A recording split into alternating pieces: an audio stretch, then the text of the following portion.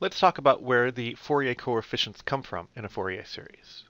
So let's consider a function that repeats with a period of 2 pi, and we know we can represent that by a Fourier series with a constant term, a sum of cosine terms, and a sum of sine terms in general.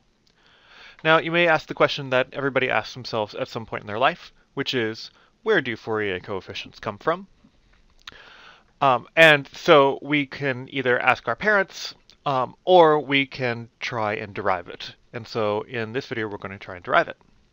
Uh, and we're going to use some magic. And the magic is named various things. You could call it the Fourier trick, uh, or uh, oftentimes called orthogonality. Those are the tricks that we're going to use. Okay, so let's start with a fun fact. Um, the integral from negative pi to pi of cosine of n times x dx, where n is some integer, what is that? Well, if you think about it, you're integrating cosine over a whole period, and so that turns out to be 0.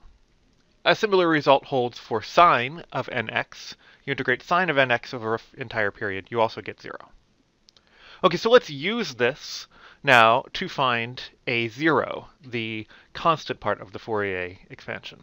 So let's rewrite the expression we had above. Now I'm going to leave some spaces here, conspicuously placed, because we're going to use those spaces.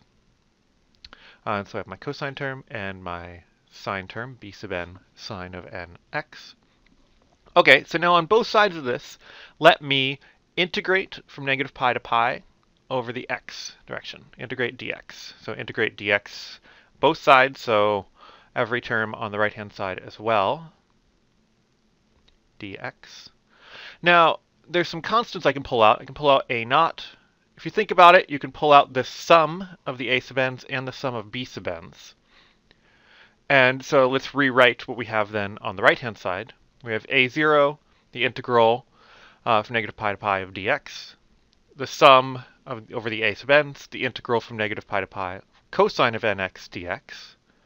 Oh, wait, we know that that's equal to 0 from our fun fact before.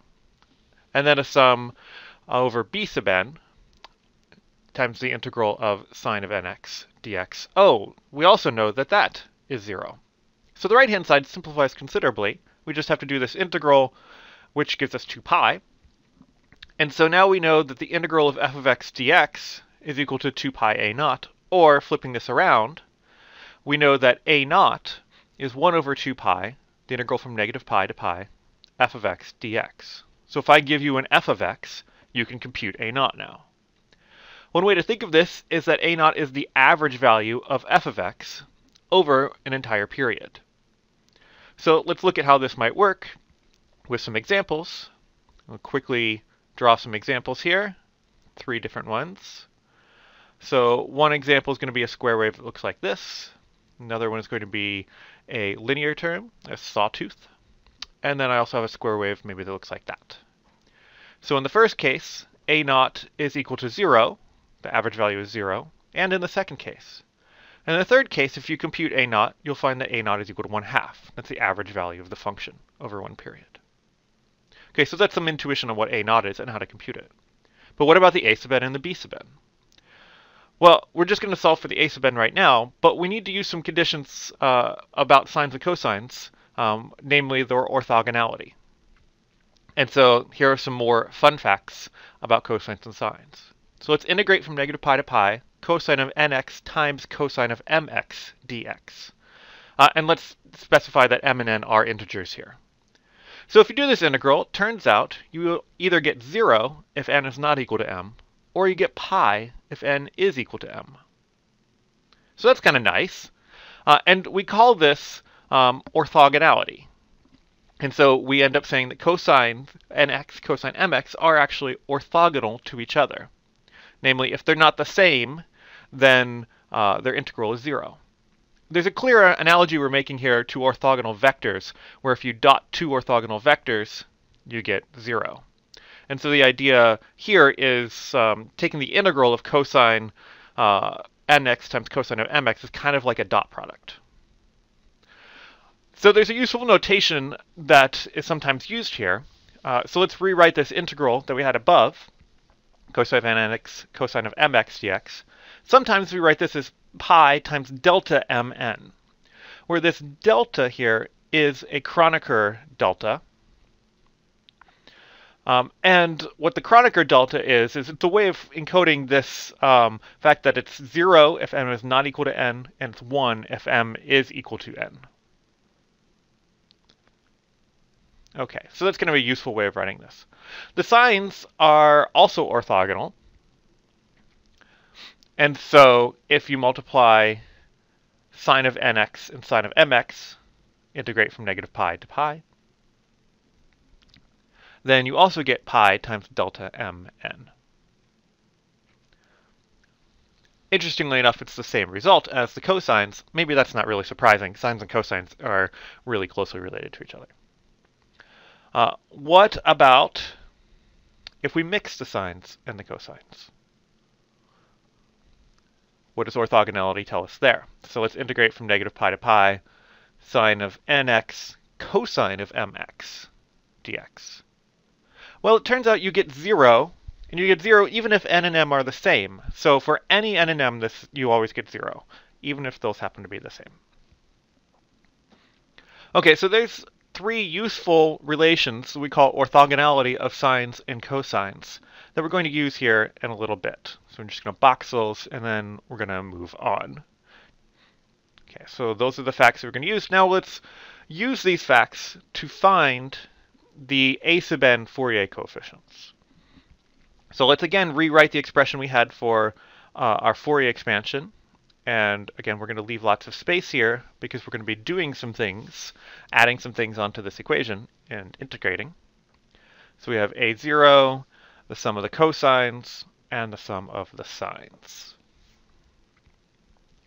Okay, so now on both sides, I'm going to integrate again from negative pi to pi, but I'm also going to multiply by cosine of mx dx. I'm going to do that everywhere on both sides. So on the constant term, on the cosine term and on the sine term. Cosine of mx dx. Okay, again, I can pull out constants. I can pull out the sum of the constants here and there. And then let me simplify the right-hand side. So I have a0, an integral from negative pi to pi of cosine of mx dx. But I know that's 0. Okay, so that's useful.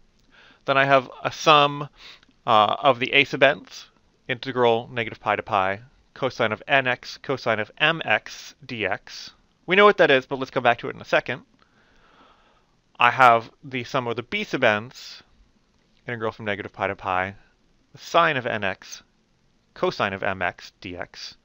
And we know that these mixed integrals also vanish, so we can throw that out. And the only term we get is the integral of the cosines. And so we know that that is, so let's carry the sum a sub n's. We know the result of that is pi times delta mn. Because this integral here is pi times delta mn, the Kronecker delta.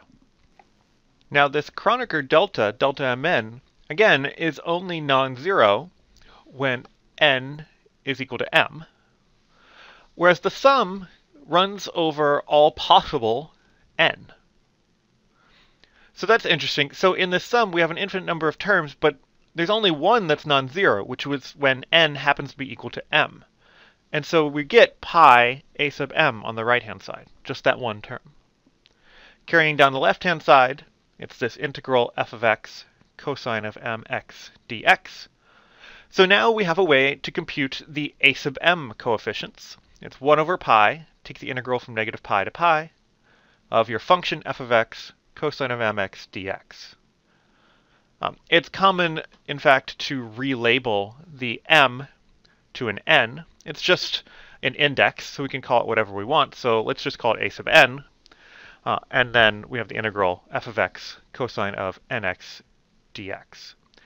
So this tells us what to do. If I give you a function f of x, you can compute the a sub n by computing this integral. There's a similar procedure uh, to get the b sub for the sine expansion, uh, and I'll let you work that out on your own.